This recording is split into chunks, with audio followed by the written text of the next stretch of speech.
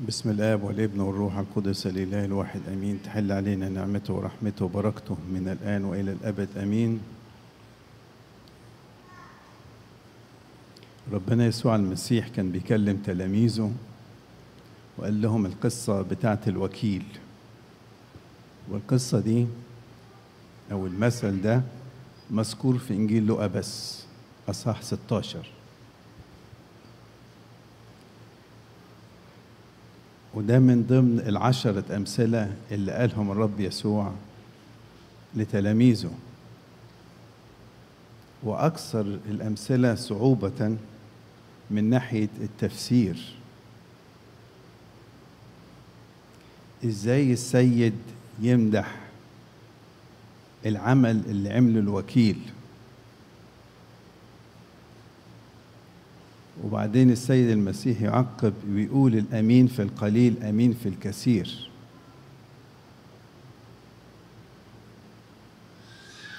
السيد المسيح له المجد.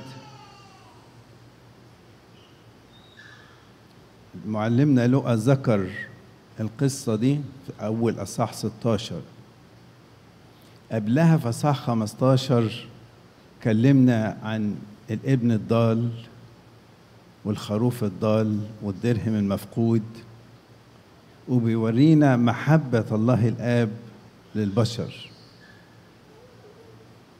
وهنا يقول لتلاميذه عن الوكيل ده. محبته ربنا بيبين محبته ونشوف عمل الوكيل. والكنيسة اختارت الفصل ده وبيتكرر علينا على مدار السنة 14 مرة.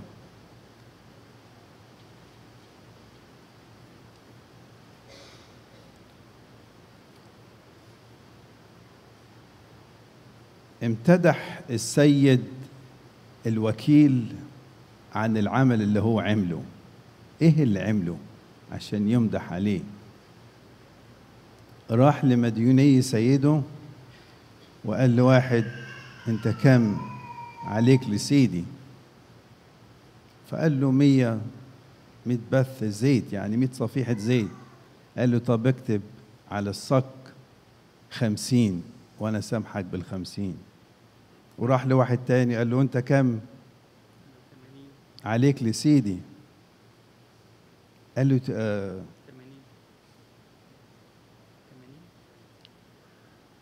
قال له 100 كر قمح 100 شوال قمح. قال له طب اكتب خمسين. وبعدين يجي السيد يمدح الراجل. هل العمل اللي عمله الوكيل ده فير ولا مش فير؟ هل هو صاحب الوكالة علشان يقدر يتصرف فيها كده؟ أما ليه ربنا يسوع المسيح بيقول إن السيد مدح الوكيل رغم إن سماه وكيل الظلم.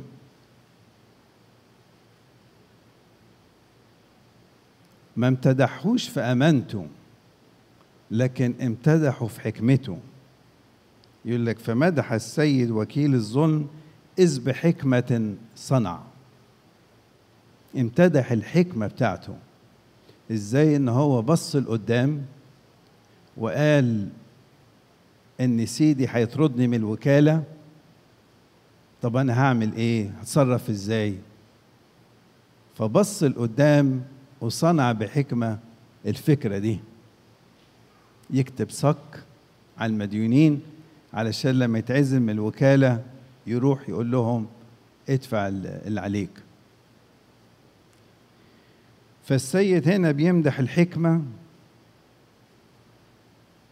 الإرادة بتاعة الوكيل لكن ما بيمدحش أخلاقه لأنه كان وكيل ظالم. عشان كده ينبغي على أبناء النور إن هم يكون عندهم حكمة. في مال الظلم اللي هم مستأمنين عليه.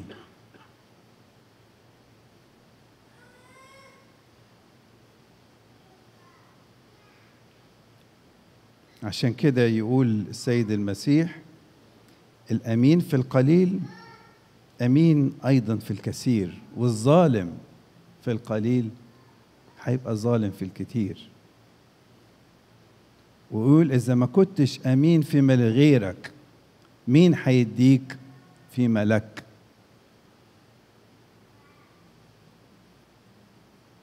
وهنا ونسأل إيه هو القليل وإيه هو الكثير؟ الأمين في القليل أمين في الكثير والظالم في القليل ظالم في الكتير إيه هو القليل ده والكتير القليل اللي هو مال الظلم. وإيه هو مال الظلم؟ الثروة الزمنية اللي في العالم الحاضر اللي هي مش بتاعتك. أنت مجرد أمين أو وكيل عليها. طب ده القليل. طب والكثير؟ قال لك الكثير اللي هو الغنى الروحي الأمور الروحية اللي ربنا وكلك عليها وخلاك أمين عليها اللي هي الأمور الأبدية. يعني المال مثل هو وسيلة نستعملها وهي أمانة. في إيدينا. ويسأل في الوكالة هل الإنسان أمين ولا ظالم؟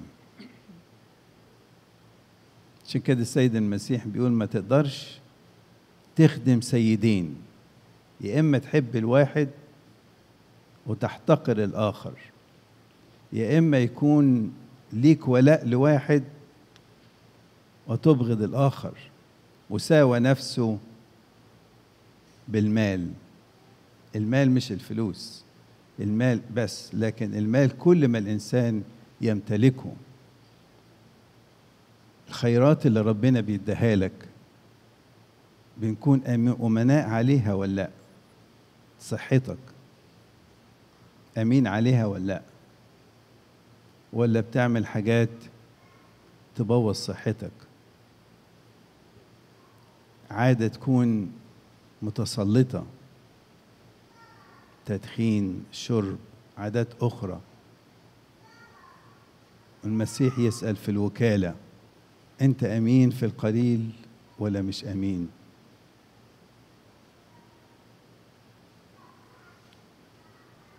والمسيح كشف لنا ان الأمانة هي قانون الأبدية.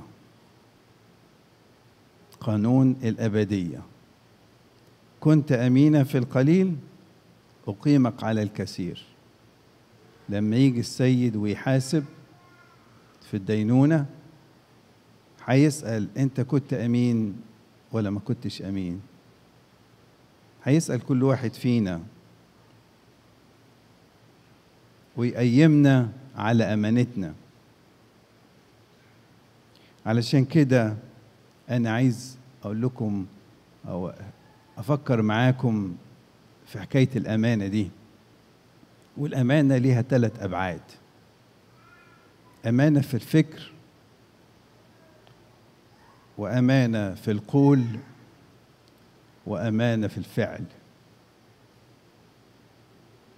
هل أنت أمين؟ أمانة الفكر للإنسان إزاي يكون أمين مع نفسه في فكره. داود يقول خبأت كلامك في قلبي لكي لا أخطئ إليك. كان أمين على كلمة ربنا.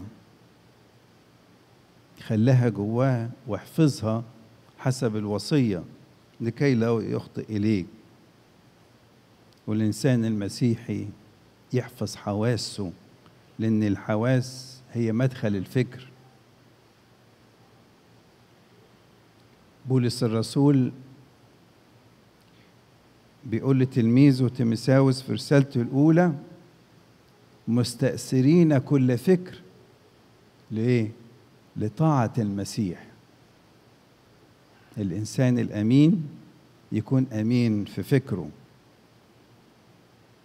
البعد الثاني في الأمانة الأمانة في القول. يعني لسانه يكون عفيف ما يقعدش يجاصب ما يقعدش يمسك سيرة الناس. يبقى أمين في القول بتاعه. مفيش كلمة بطالة. بطالة يعني ملهاش فايدة. مش كلمة شريرة لا كلمة بطالة يعني حتى الكلام اللي ملهوش فايدة الإنسان الأمين يخلي باله ويكون أمين في كده. أمين إن هو ما يدينش أخوه بكلامه ولا بفكره. الإنسان يكون أمين على السر اللي يؤتمن عليه. ما يفشيش السر. كنت أمينا في القليل فأقيمك على الكثير. عشان كده نصلي مع داود في المزامير ونقول لتكن أقوال فمي وفكر قلبي مرضية أمامك يا رب. يا رب اجعل أقوال فمي وفكر قلبي وأفعالي تكون مرضية أمامك. البعد الثالث في الأمانة أمانة في الفعل. السلوك الإنسان يسلك بالتدقيق. لأن هيجي وقت ويسمع الصوت ادي حساب وكالتك. طب إزاي وكالتك؟ هو صاحب الوكالة؟ لا هو بس مجرد أمين أو وكيل. البعض يفتكر إن هي الوكالة بتاعتي وأنا أتصرف فيها زي ما أنا عايز. لا ده افتكر تملي إن أنت أمين وإن أنت وكيل. والوشايات اللي تروح ضدك تكون وشايات باطلة. وشهادة ضميرك أمام ربنا وأمام نفسك تشهد ليك إن أنت كنت أمين. زي بولس الرسول يقول إني أسكب سكيبا وقد وقت انحلالي قد حضر. جهدت الجهاد الحسن أكملت السعي. أخيرا وضع لي إكليل البر الذي يهبه لي الرب العادل. شهادة ضميره. نحمية كان أمين لوطنه ولشعبه وللهيكل. ويسأل في الوكالة هل أنا أمين ولا مش أمين؟ ربنا يدينا إن إحنا نكون أمناء. ويكون لنا حكمة في التدبير. يقول لأن أبناء هذا الدهر أحكم من أبناء النور في جيلهم. ويدينا النصيحة الأخيرة ويقول أنا أقول لكم اصنعوا لكم أصدقاء بمال الظلم